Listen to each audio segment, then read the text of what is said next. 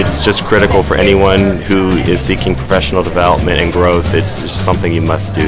It brings you um, so many opportunities to meet with people that uh, you have been uh, working with throughout the years. You get to take advantage of all the incredible education that's provided, that the, uh, the updates from the Board of Nursing, the legislative announcements, and uh, to hear all the good things that NCNA is doing to support nursing. And it's just been a great opportunity to work with our exhibitors and, and our partners, and you get to really um, hear from influential leaders in nursing and other professions always a great a great time.